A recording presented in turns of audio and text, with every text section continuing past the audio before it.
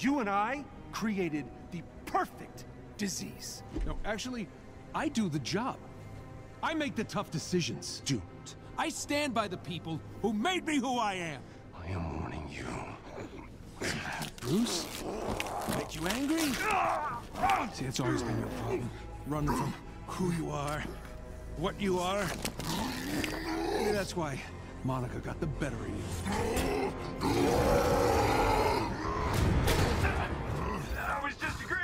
okay? That banner is in power.